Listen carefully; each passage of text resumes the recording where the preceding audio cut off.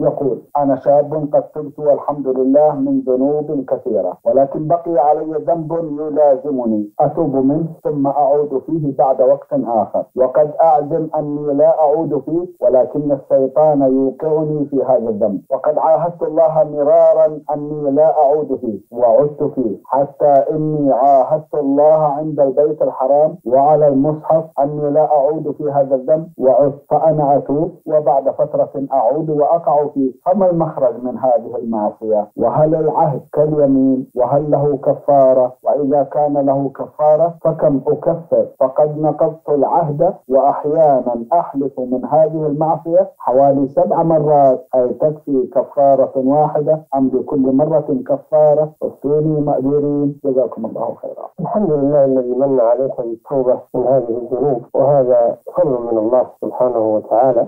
وأما هذا الذنب الذي تنازعك نفسك إليه ويدعوك إليه الشيطان كل مرة تتوب ثم تعود إليه فهذه مصيبة. ولكن الحمد لله ما دمت تشعر بالندم وتتوب ثم تعود ثم تتوب فهذا دليل على السعود الإيماني الذي في نفسك.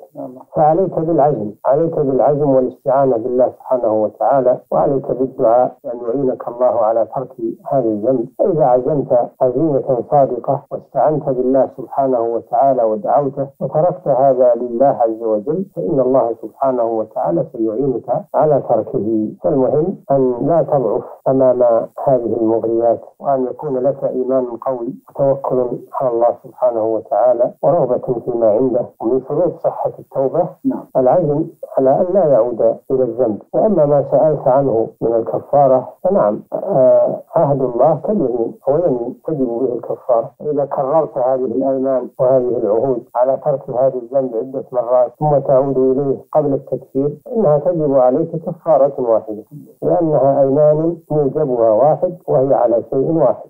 فتتحد كفارتها فتكفر كفارة واحدة وهي إطعام وهي عتق رقبة أو إطعام عشرة مساكين أو كسوتهم يعني كسوة عشرة مساكين لكل مسكين ثوب نعم. ومن الإطعام لكل مسكين كيلو نصف من الطعام لا يعادل نصف الصاع. وإذا لم تجد شيئا من هذه الأمور الثلاثة الإطعام أو الكسوة أو العتق فإنك تنتقل إلى الصيام تصوم ثلاثة أيام. قال تعالى كفارته إطعام عشرة مساكين أوسط ما تطعمون أهليكم أو كسوتهم يعني كسوة عشرة مساكين أو تحرير رقبة هذا على التفصيل فمن لم يجد هذا على الترتيب. فمن لم يجد فصيام ثلاثة أيام. ذلك كفارة أيمانكم إذا حلفتم. نعم. جزاكم الله خيرا وأحسن